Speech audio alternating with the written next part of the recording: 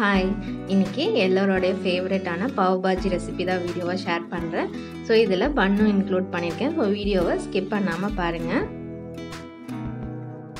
First east activate பண்ணிடலாம். இதுக்கு வந்து நான் ஒரு கப் வாமான மில்க் எடுத்திருக்கேன். அதில் வந்து மூணு டேபிள் ஸ்பூன் போல் சுகர் ஆட் பண்ணிக்கோங்க. நல்லா மிக்ஸ் பண்ணதுக்கப்புறமா ஒரு டேபிள் ஸ்பூன் ஈஸ்ட் ஆட் பண்ணிக்கலாம். ஸோ இது எல்லாத்தையும் நல்லா மிக்ஸ் பண்ணிவிட்டு ஃபைவ் மினிட்ஸ் ஓரமாக வச்சோம் அப்படின்னா ஈஸ்ட் ஆக்டிவேட் ஆகிடும் இப்போ பாருங்கள் ஈஸ்ட் நல்லா ஆக்டிவேட் ஆகிடுச்சு இப்போ மாவு பிசைஞ்சு வச்சிடலாம். ஸோ நான் இன்றைக்கி வந்து ரெண்டு கப் மைதா மாவு எடுத்துருக்கிறேன். கூடவே கொஞ்சமாக உப்பு ஆட் பண்ணிக்கோங்க.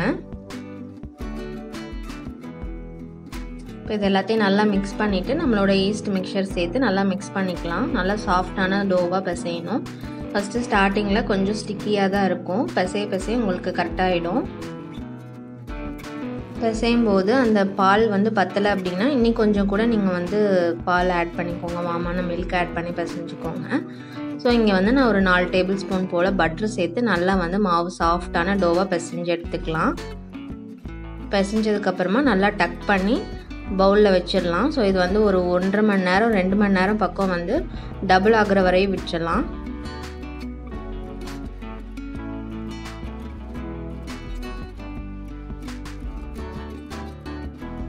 இப்போ பாருங்கள் மாவு டபுள் ஆகிடுச்சு ஸோ அதில் இருக்கிற ஏர்லாம் நம்ம ரிலீஸ் பண்ணோம் அதனால நல்லா பஞ்ச் பண்ணிவிட்டு அப்புறமா அந்த டோவை எடுத்துகிட்டு ஒரு நல்லா வந்து ஒரு ஃபைவ் மினிட்ஸ் போல் நல்லா வந்து மாவு பிசைஞ்சுக்கோங்க.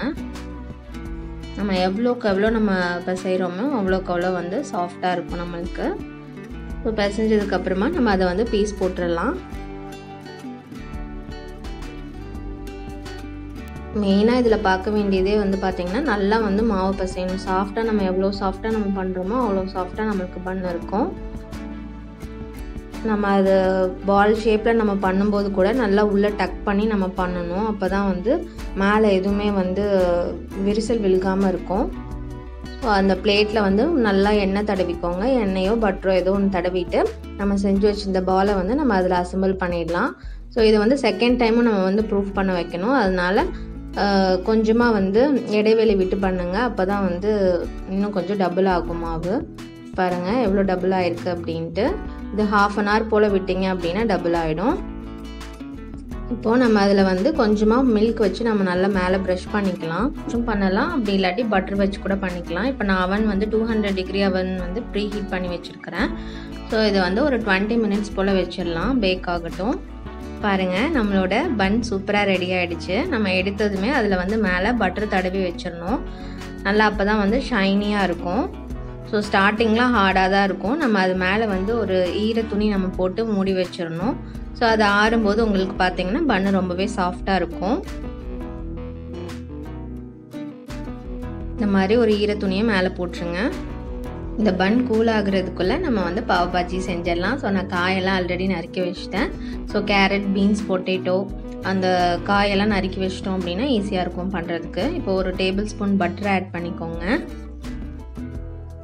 இப்போது ஒரு டேபிள் ஸ்பூன் சீரகம். சீரகம் பொரிஞ்சதுக்கப்புறமா ஒரு பெரிய வெங்காயம் வந்து பொடியாக நறுக்கி வச்சுருக்கிறேன். அதை ஆட் பண்ணிக்கிறேன். இப்போது வெங்காயம் நல்லா வதங்கட்டும். கூடவே ஒரு டேபிள் ஸ்பூன் போல் இஞ்சி பூண்டு விழுது ஆட் பண்ணிக்கலாம். ஸோ அதோட பச்சை வாசம் போகிற வரையும் நல்லா வதக்கிக்கோங்க. ஒரு கேப்சிகம் பொடியாக நறுக்குனதை ஆட் பண்ணியிருக்கிறேன் ஸோ கேப்சிகமும் நல்லா ஃப்ரை ஆகட்டும்.